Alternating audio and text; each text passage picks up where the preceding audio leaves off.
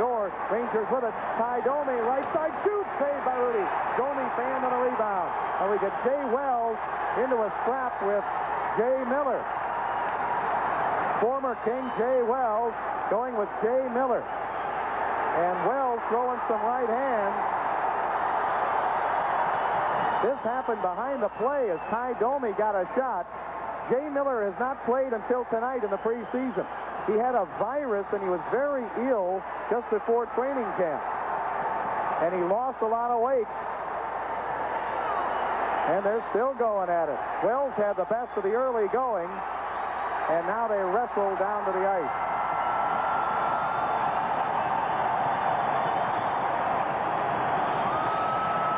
I didn't see what started it. I don't know if there's going to be an instigator here or not. Take a look at Wells' check on Darryl Sydor. Here comes Jay Miller. He throws a check on Wells. They spin around. No instigator yet, although Wells had his helmet knocked off by Jay Miller. Now they're yapping at one another. Look at former King Jay Wells in the penalty box. He goes off five minutes for fighting. Jay Miller goes off also.